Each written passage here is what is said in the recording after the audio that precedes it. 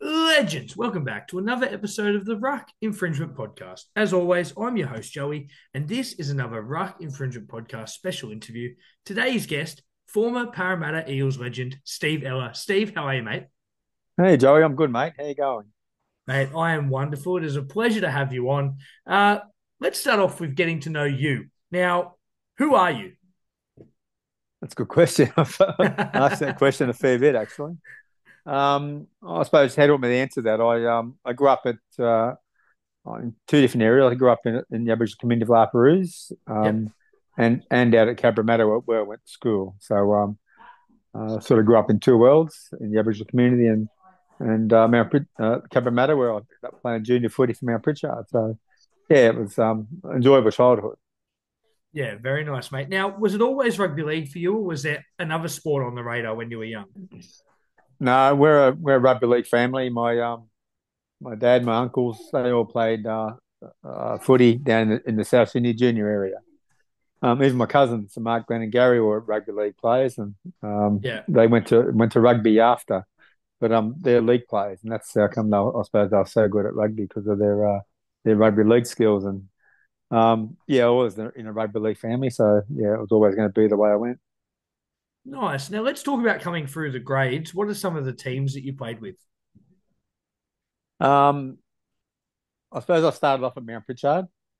Um, I was probably six. I started at Mount Pritchard. Eric Grace Yeah. started um, at Mount Pritchard a year after me. Um, uh, about one or two years together as kids, and then uh, Eric went to um, he went down the Cronulla area, and I, I went over to East Mount Pritchard a few years later, and um, Eric come back to play at East Mount Pritchard with me. So Mount Pritchard East Mount Pritchard, and that's that was where we played our all our junior footy. So um, it was just uh, I suppose those two clubs that we that we played at, and um, but in, in saying that, we played all the junior junior reps from um, uh, Harold Matthews, uh. SG Ball, Jersey Flegg. So had two years at Jersey Flegg. Um, Eric and myself played a year up um, in Jersey Flegg. Then we played out in, in our age group. So uh, yeah, so I had a, had a fair few years in the in the Parramatta junior ranks, and that was that was really enjoyable.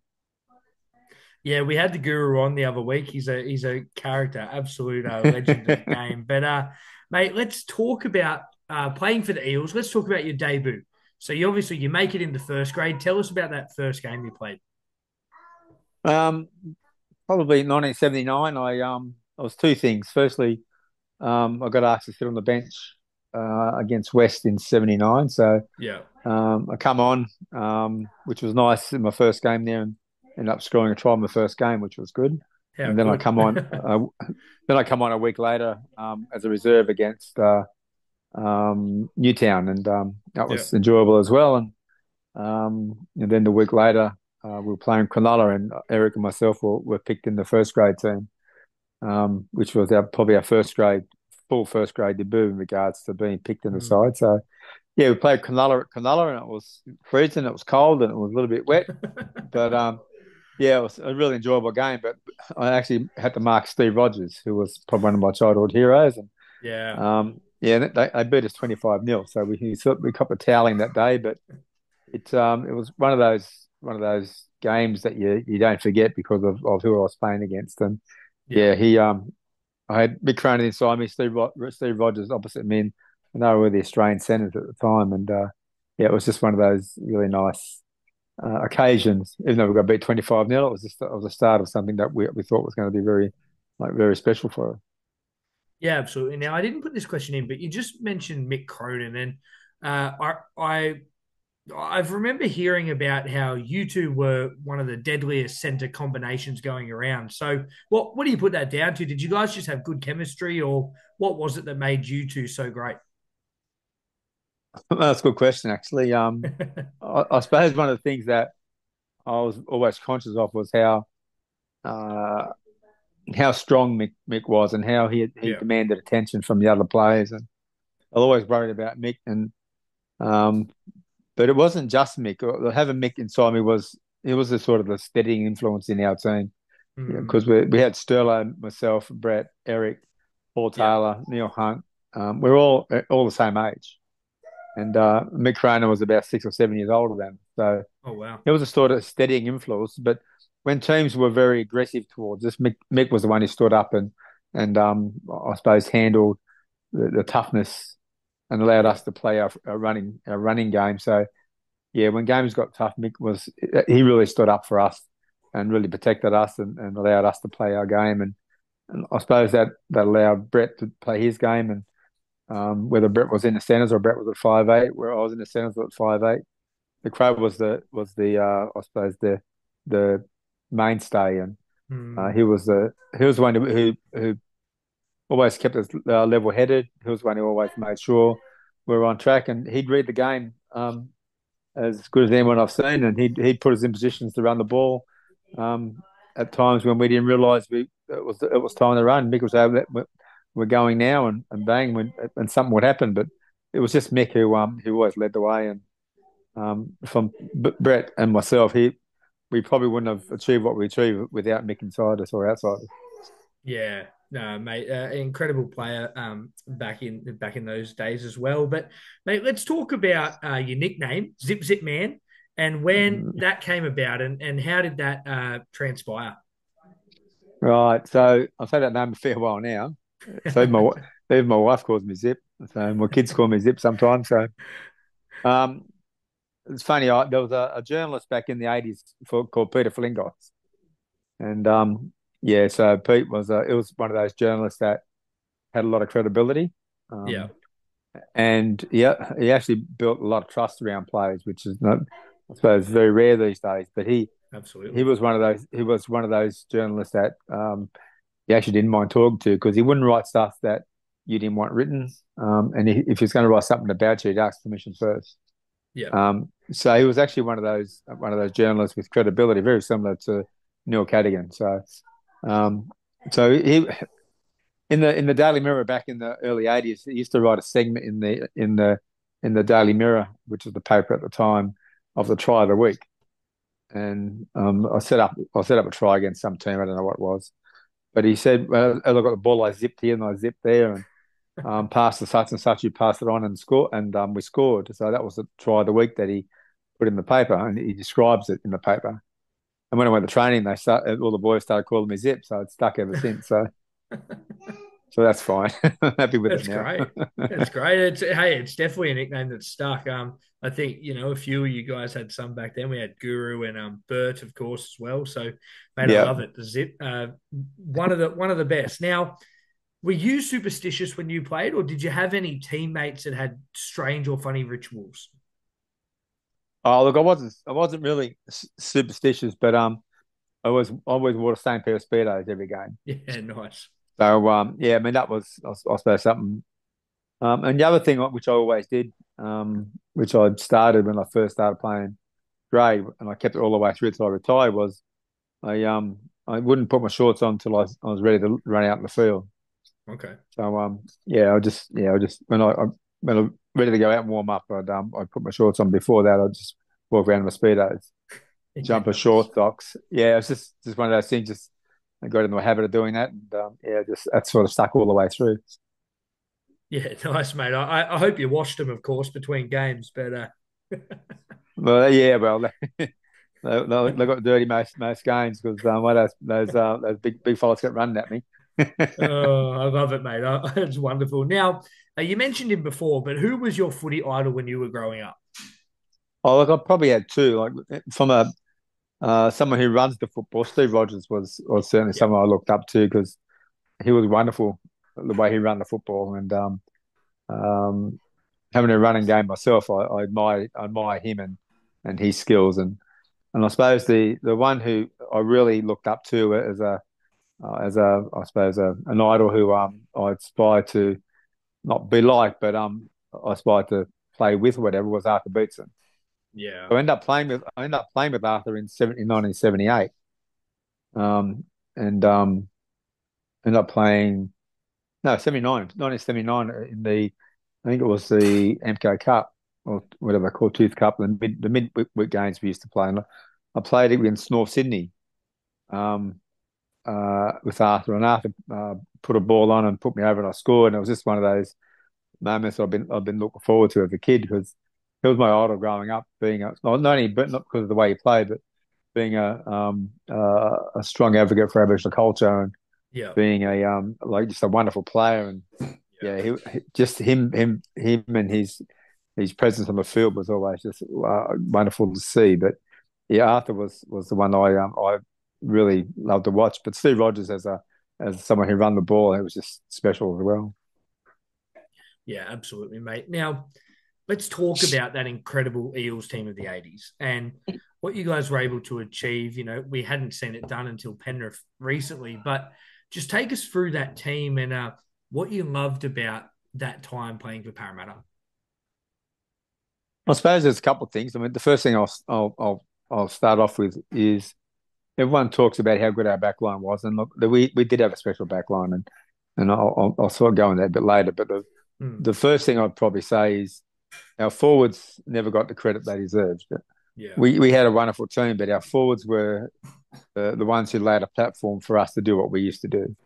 Um, it doesn't matter how good your side is, if your forwards aren't performing and your forwards aren't um, on the front foot, it's really hard for backs to perform. And our forwards, even though they were smaller than most most packs and um, most packs were bigger and stronger, like our, our forwards never gave up and, and dominated um, in a lot of ways, and it, it allowed us to do what we do. So, firstly, yeah, the forwards um, led by Pricey, uh, Steve Edge, Yeah. and then there's players like Steve Sharp, Peter Wynn. Um, yeah, Bob O'Reilly was special when he was playing with us as well because to follow the bear around and and um, yeah, his ball skills are just exceptional. And he actually passed those ball skills on the on to John Muggleton, who uh, and Muggo was was one of those players I followed all the time because Muggo could read the game as good as Sterlo, and just following Muggo around the field, his ball skills are just exceptional. And um, yeah, firstly playing with the bear, then, then Muggo was just yeah really special. So that was probably the, the first thing. The second thing is is playing with with people like Sterlo and Brett, Eric, the Crow, and then you got Paul Taylor, Neil Hunt, Dave Liddiard. Yeah. Uh, they were just wonder, not only wonderful players, but wonderful people, and we're all like we've still got real all real good mates. We, we catch up on a regular basis, but we we all complemented each other, which was one of those, I suppose, rare rare things in a footy team, and we all had our own own set of skills, and all those all, all those skills complemented the way we played, and um, having having Sterlo lead the way, and um, Sterlo was like Wally, he could read the play two or three plays ahead, put us in Yeah, position wow. to do what we need to do. The Crow was was um, special, like I said, but having Brett, who's probably the best player I've ever seen, um, and play with um, inside to be able to do what he does, and just, although all my job was just to follow him and the Crow Hmm. and it just made my job a hell of a lot easier as well. And and if I ran into trouble, I give it to Eric. So um, yeah, having Eric outside me just made a made life so much much easier as well. Because if I had too far to if I, if I had too far to run, I'd give it to Eric.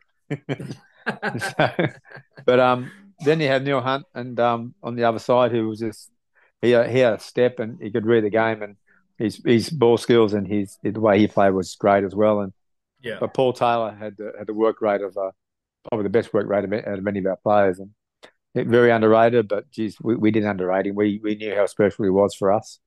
And then um and Dave Liddiard come on, and when he started playing with us, Lids had uh, speed, he had skill, and uh, it was tough as well. So um we look we just had a bunch of good blokes who really enjoyed each other's company, but um we excelled at, at with each other's skills, um uh, complementing each other. So it was just yeah one of those really nice environments to be able to play in, and and um, and for us it was just playing with your mates, but you don't realise how special it was until years later.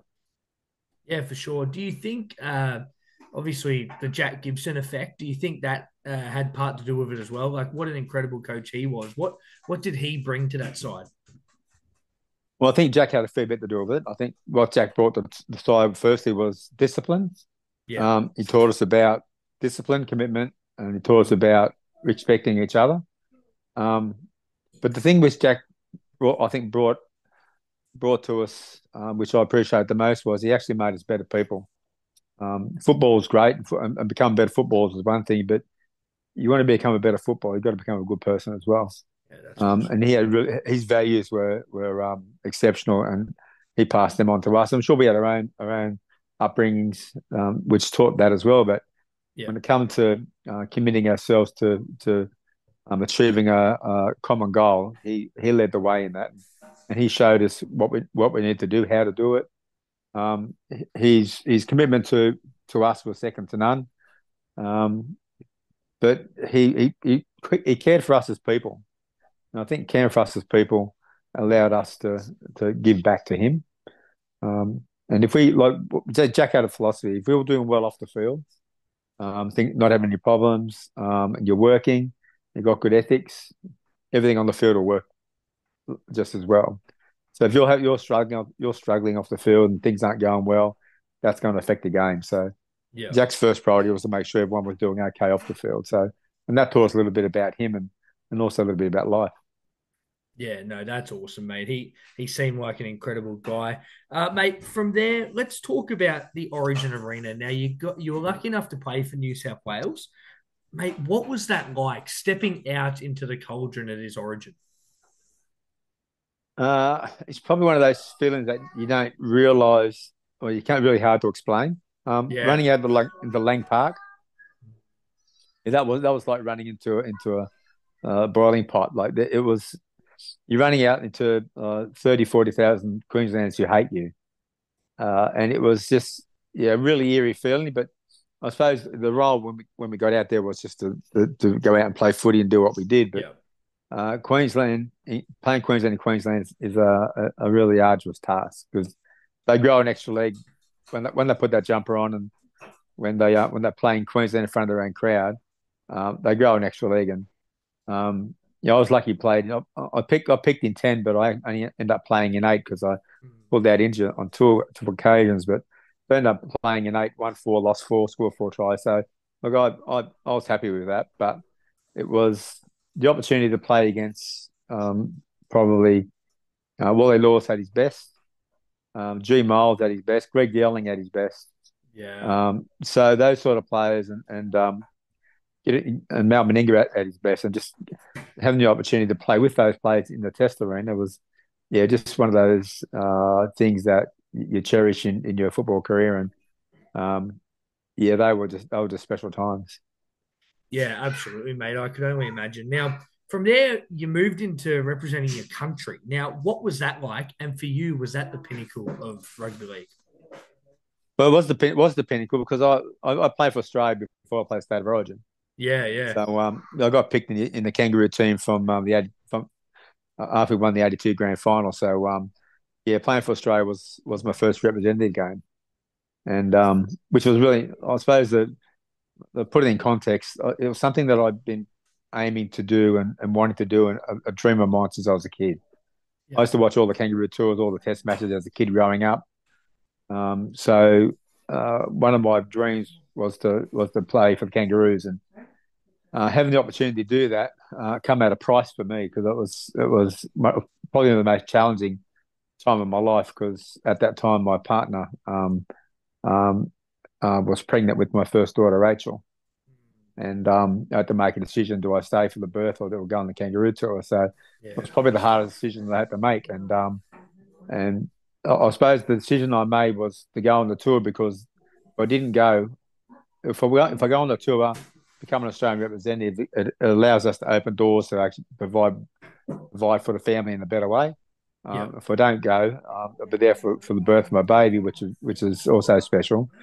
But a lot of those doors wouldn't be open to be able to, um, I suppose, look at uh, how we uh, look after ourselves moving forward. So I ended up making the decision to, to go on the kangaroo tour, and I didn't see my um my, my daughter. See my daughter Kristen. my kids picked up but um, the second daughter, Kristen. So it was I didn't see Kristen until she was three months old, and um, which is probably the hardest thing that I've, that I've ever had to had to go through. But um, going on the kangaroo tour was was was one of the most special times of my life, but the, also one of the hardest times of my life. Yeah, mate, absolutely. It's it, I mean, you you hear that these days as well, and it would be such a tough call, mate. Let's talk through your finals appearances. Of course, you had a few of the big ones, the grand finals, but is there one finals appearance that sticks out more than any other for you? Oh, look, the first, well, there's actually two stick out. The first one uh, when we beat Newtown, first time Parramatta won a competition. That was yeah, that was certainly the, the, the special one. But the one that stands out for me the most is when we beat Manly year, a year later, and and uh, with Manly Manly beat us in every game during the year. And they beat us, they smashed us in the semi final. Yeah. Um, so and they had, a, a, I suppose, their team was full of Australian players.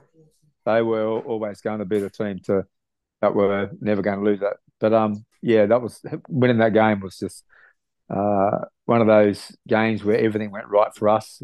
Our fours were just dominant. Um, and every time we touched the ball, uh, things turned the goal for us. And we, in the last five minutes of the first half, I think we scored three tries. And um, yeah, we put Manly to bed in, in, that in that time, and, and just defended our asses off in the second half. So yeah, just beat Manly in that game probably was the the game that I, I think about the most. But the first one against Newtown was because it was Parramatta's first. It was, it was also yeah. just special. Yeah, mate, absolutely. And of course, getting it over your arch enemy, Manly, is, is also a good feeling. I mean, anytime you beat Manly is a good day. That's it, mate. That's it. I love it. Uh, mate, did you have a favourite coach? Uh, look, there was probably two two coaches. When I was when I was a kid growing up, I had a had a fellow called Mark O'Reilly, and Mark, yep, uh, he was actually Bob O'Reilly's brother. Oh wow! But what but what Mark did for Eric and myself was uh, he didn't he he didn't allow us to get big heads he he was just as tough on us as as anybody else, even tougher. Um, and yeah, he he he put discipline in, into how we played, and, and, Jack refined that when we when we went into grade. But Mark was the one who actually uh, kept us level headed as kids. Um, and then going into into uh, grade and having Jack, um, who actually yeah taught us how to how to I suppose prepare prepare ourselves for those big games and yeah. um, and prepare, prepare ourselves to, to play the games we needed to play. It was yeah, that was I suppose next level. So that they're probably the main two coaches who, who um, sort of molded me over the years. Yeah, nice, mate. Now, my next question: Did you have a funniest teammate that you played with? Oh, it was, it was two really. Um, Paul Paul Taylor was always practical joker. Yeah. Um, Taz was always doing something, and yeah, it was it was always um, yeah, just fun to be around. But the other one was Brett Kenny. Um, yeah. People know how, how good a player Brett was, but but Brett, Brett was a it was a funny funniest fellow to be around when when we're getting ready for games or after games, and yeah, it's just yeah, we just always have a good laugh, have a good time, and yeah, it was just one of those. Uh, both those players just just great to be around because you're laughing all the time, and and um, they never never get too serious. But Brett, Brett only got serious after the ref, after the um kickoff whistle went. Once the kickoff went, that's, when Brett got serious. Before before that, it, it was um yeah, it was it was um always Bella laugh. So yeah, Brett and Tazza, great to be yeah. around. I love it, mate. Now off the back of that, strangest teammate. Who's someone you played alongside that you just they were a bit quirky? oh, Eric, hundred percent.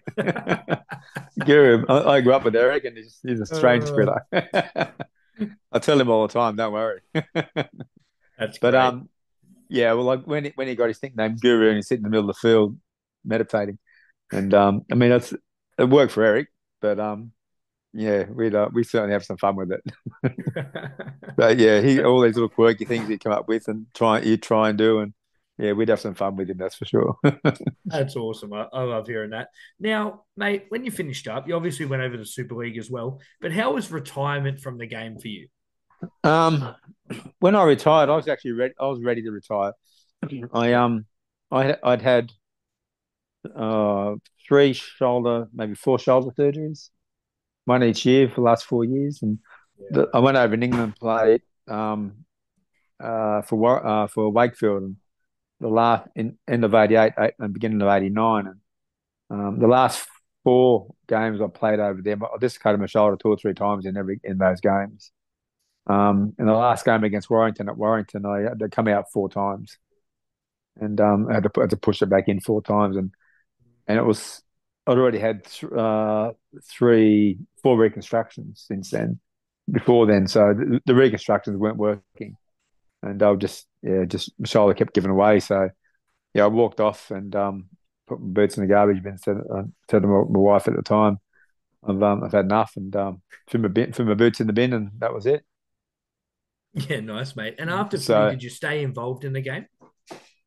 Um, I sort of to answer that, probably no.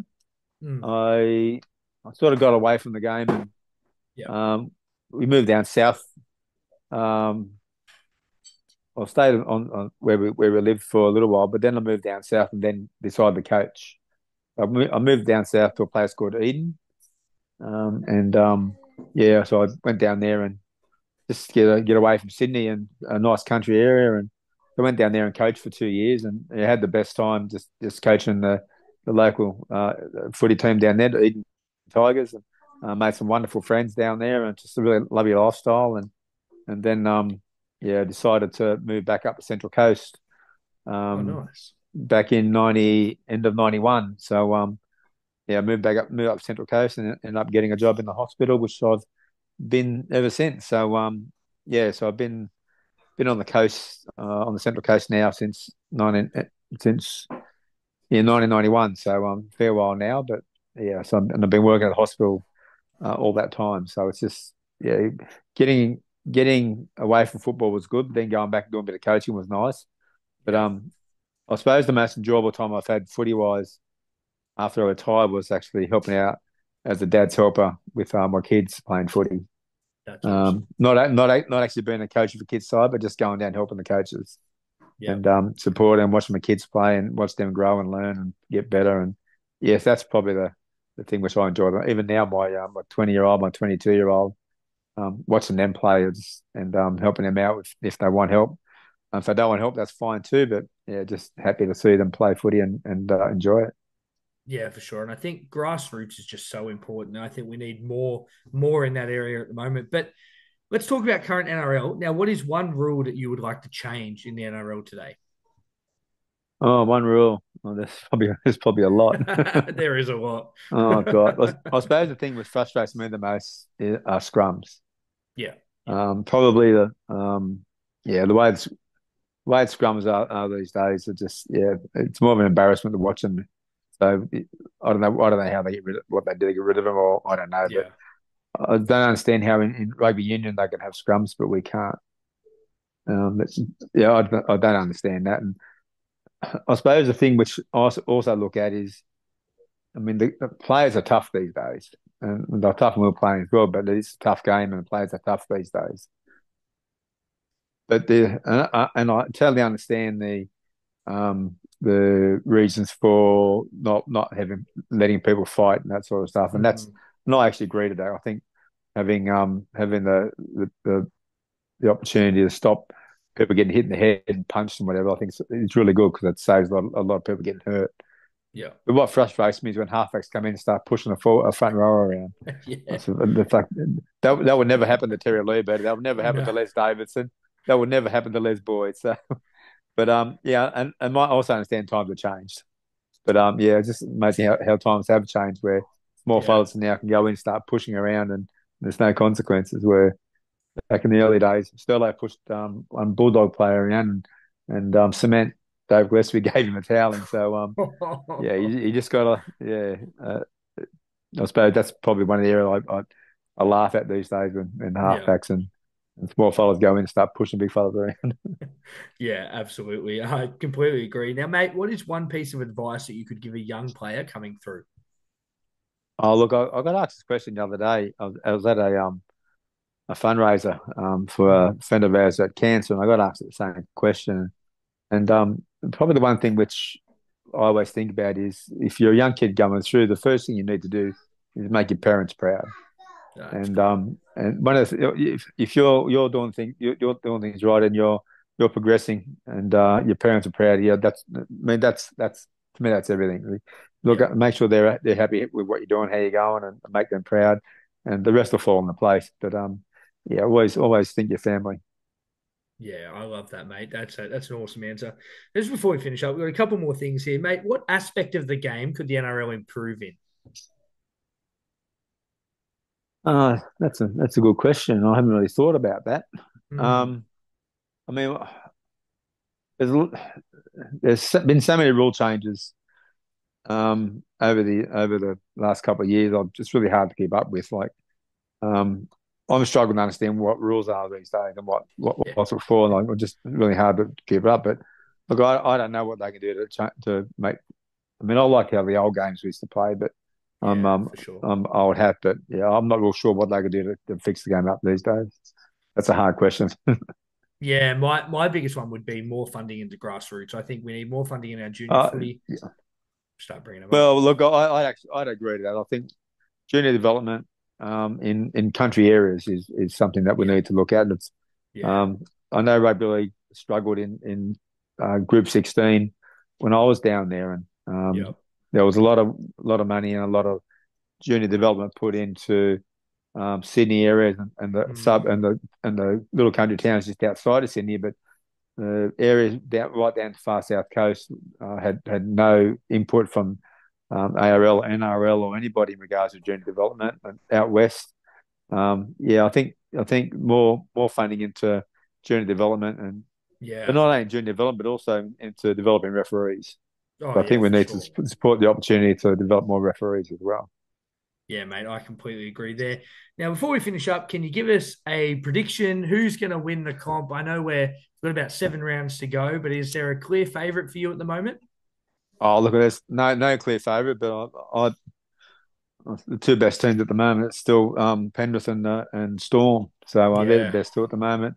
I mean, the dark horse is still the Broncos because they've still got the Mm. players that can win a comp. But I think they're they're probably the, the two top teams at the moment, and wouldn't be surprised if Penrith get a um, get another one up because they've just got some Yeah. it's got some of the best players in their side. So, but um, look, Storm are going great as well. So yeah, it's a toss of coin between those two. Yeah, absolutely. I'm a Chooks man myself, but uh, I wasn't can't go great, there. it wasn't it, it, it wasn't a great game on uh, uh the the other night, but that's all right. But anyway, Yeah. we want to thank you for your time, Steve. It was uh it was an awesome interview. Um, obviously, this episode has dropped as people are listening, so you can find that on all available uh, Spotify, Apple Podcasts, and on all social media: Facebook, Instagram, TikTok, and we'll tag the link in the description, of course. But thank you, mate. I'm Joey. That's Steve. Be good.